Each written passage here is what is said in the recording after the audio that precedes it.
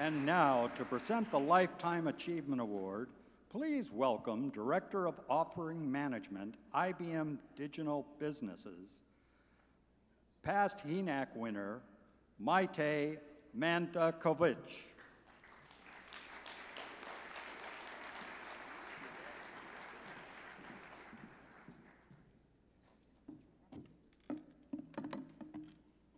Good evening. The chronology of Romelia Flores' 33-year career reads like a how-to guide for persistent professional growth and high-level technical, uh, technical achievement. At every stage of her rise up the ranks at IBM, she's gained product development experience and provided technical support, consulting, and business solutions to IBM's most important clients. Today, she's one of IBM's top 500 technical executives, earning the prestigious titles of Distinguished Engineer in 2008 and Master Inventor in 2009. She has collaborated with IBM's largest clients around technology innovation and holds 25 patents with an additional 30 patents pending.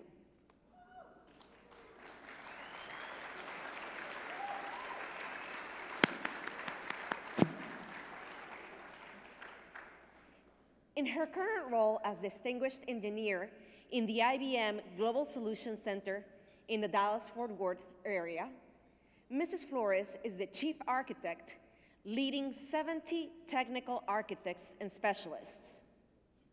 Her team is responsible for enabling worldwide teams to drive $2 billion of revenue impact every year.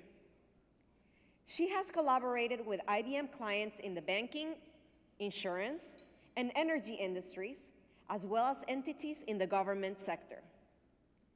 Over her career, Ms. Flores has trained thousands of IBMers and clients around the world. Her, effort, her efforts have enabled 25 new IBM inventors to obtain patent applications.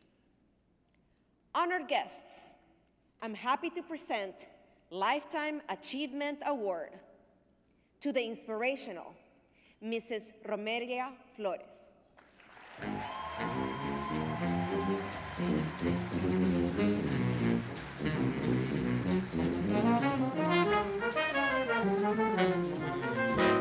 This is mine again. No, just kidding.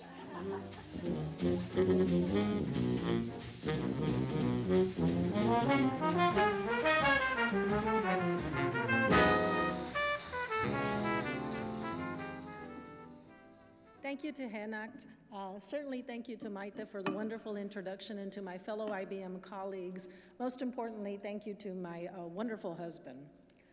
Over my uh, lengthy experience and career at IBM, I have seen amazing advancement in uh, technology with an increase in diversity in the workforce.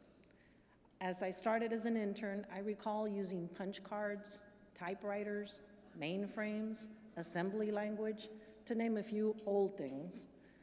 I also recall a male-dominated workforce with very few minorities working beside me, especially women.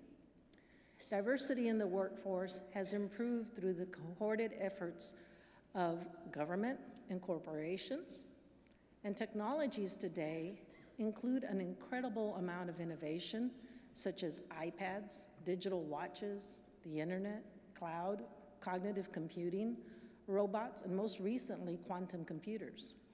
All these technological advancements, such as social networking, have made it easier to break down geographical boundaries for collaboration, regardless of location, gender, or culture.